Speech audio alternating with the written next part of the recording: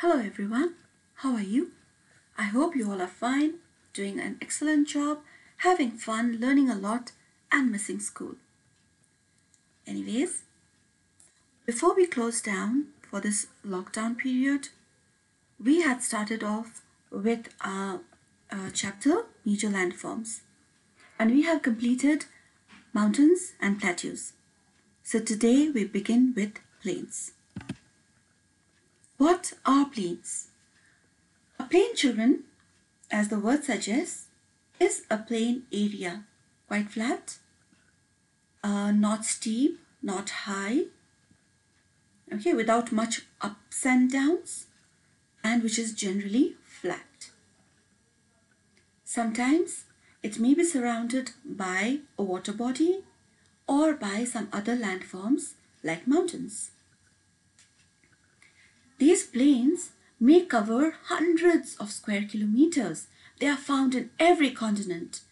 More than half of the entire earth is covered by plains. Now, depending on how plains are covered, they have got slightly different names. If they are covered in grass, they are called grasslands. They have got many wildlife, like the Argentine pampas. Sometimes they may be covered in trees, and we call them forests, like the plains of Mexico. Sometimes they may be covered in ice and snow, like the tundras in the Arctic. And sometimes we may have them covered in sand with very, very less green vegetation. They are called deserts and they are certain parts of the Sahara. Now the question arises, how are plains formed? Based on the way they are formed, we can divide them into three different types, structural, erosional, and depositional. When volcanic activity takes place, the volcano erupts out of the earth and it shoots right up. Then it lands back on the earth and it starts covering a wide area with the lava. When such a thing happens, then the lava starts spreading out over a huge area and it cools down.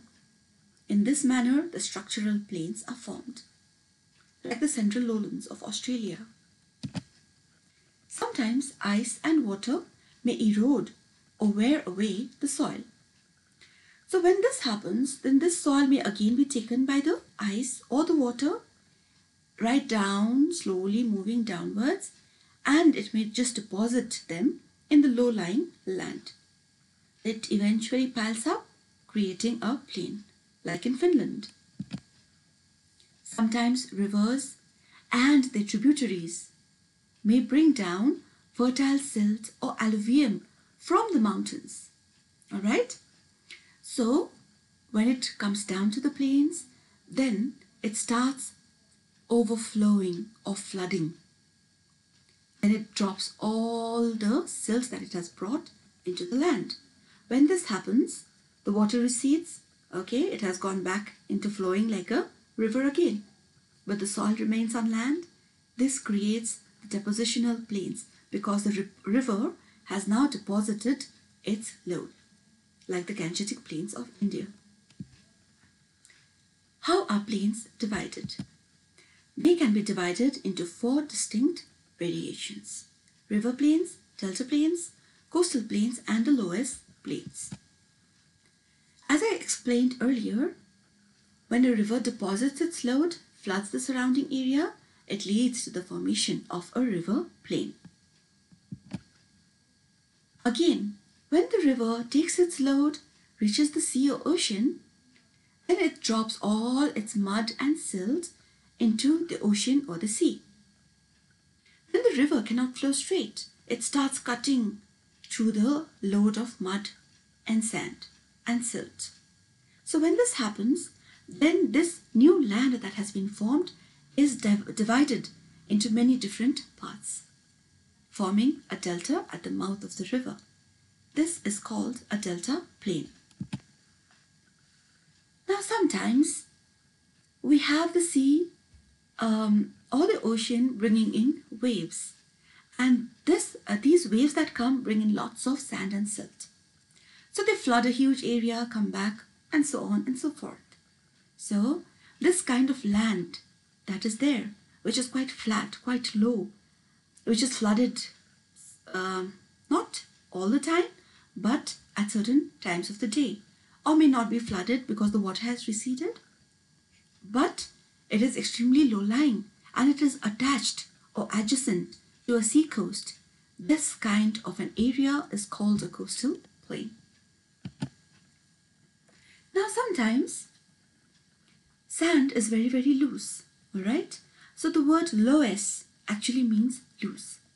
L-O-O-S-E, not L-O-S-E, please remember. So when this loose sand is pushed around by the wind, it settles down in certain places.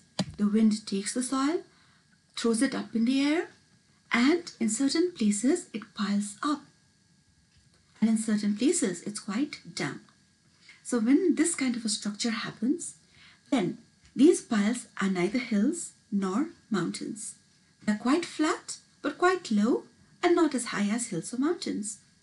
So these kinds of plains, as you can see in the picture, these are the loess plains. Now the question arises, why are plains useful? Now you see children, the fertile soil that is brought down by the different um, activities of nature makes this area very very fertile. So because of that, many different crops can grow. When people start growing crops, they start keeping animals. When animals and plants and crops are grown together, then more and more people find it very, very lucrative or beneficial to stay in certain places. So these plain areas become quite crowded. Alright? So people start settling down, they make villages, from a village to a town to a city.